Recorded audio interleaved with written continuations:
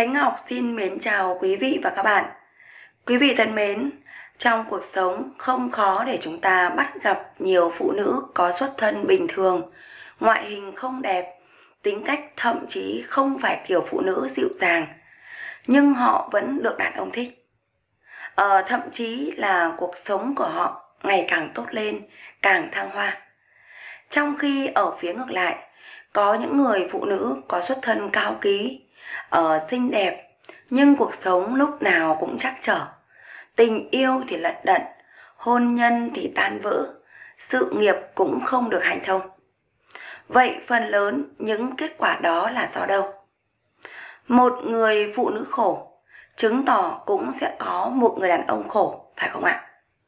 Trong video này khánh ngọc chia sẻ với quý vị về nội dung đời người phụ nữ kiểu gì cũng sẽ khổ nếu trong người họ tồn tại ba cái điều này, quý vị nhé điều thứ nhất là chuyện gì cũng phản nàn một người phụ nữ vốn dĩ có tính hay phản nàn, thì 10 điều trong cuộc sống họ phàn nàn 9 điều. Phàn nàn trở thành một thói quen ăn sâu vào tiềm thức của họ. Bản thân người đàn ông sống với một người phụ nữ mà có thói quen phàn nàn thì đã là khổ rồi. Nhưng quý vị không biết rằng người phụ nữ hay phản nàn thì chính bản thân họ là những người cực khổ.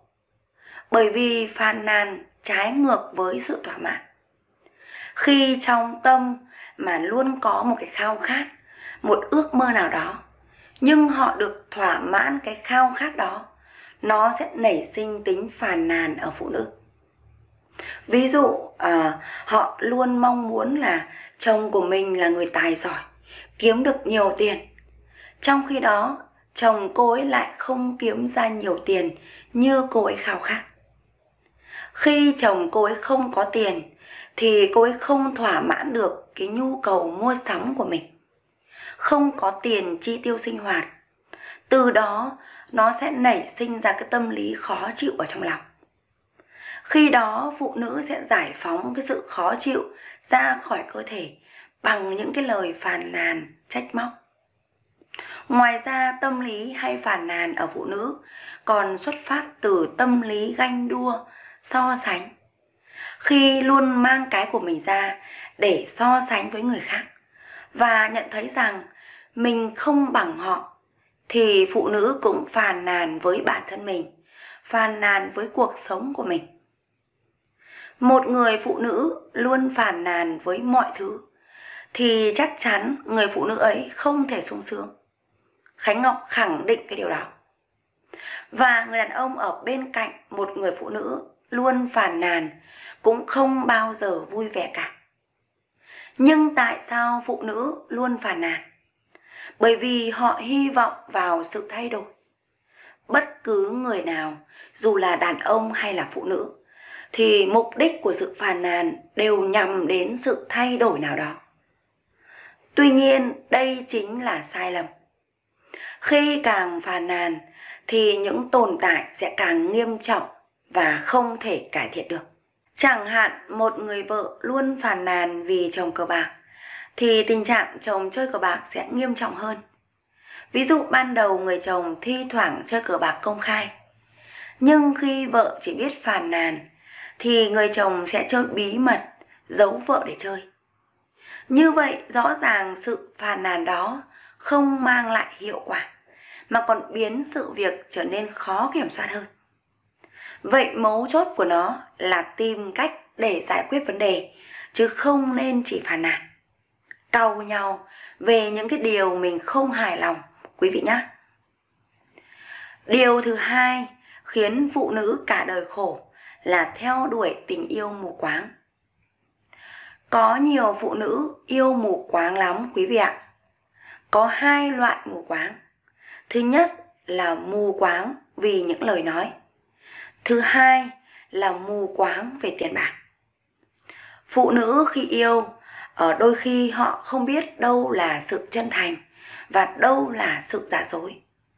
Và đôi khi mặc dù biết nhưng họ cũng không lựa chọn sự chân thành mà lại chọn người có lời nói giả dối bởi vì phụ nữ chỉ cần được chiều chuộng, được đáp ứng nhu cầu vật chất là họ bị lầm tưởng đó là tình yêu.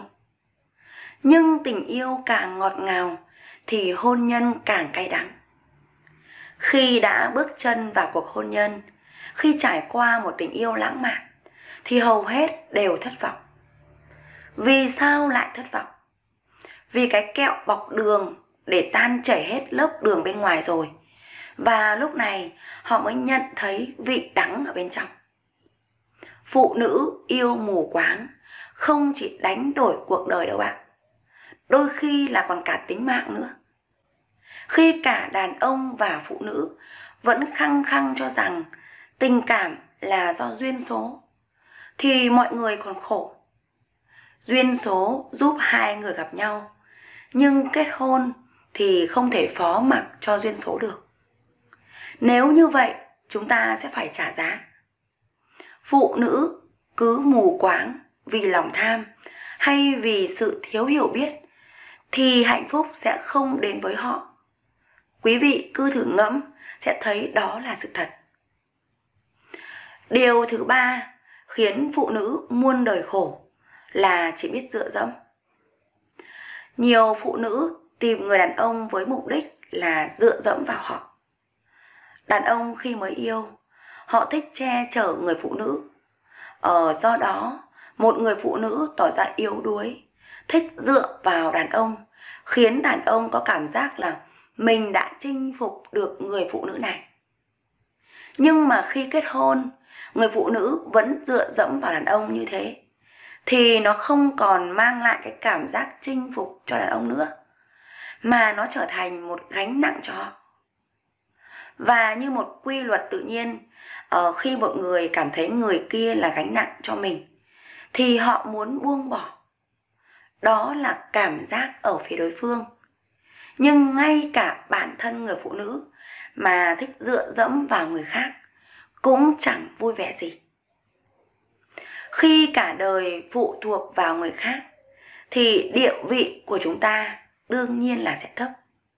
Chỉ khi bạn độc lập về nhân cách, bạn mới có thể bình đẳng trong tình yêu một cuộc hôn nhân lý tưởng, phải là cả hai người đều đủ bản lĩnh để tự chủ, có thể thúc đẩy nhau ở một số khía cạnh.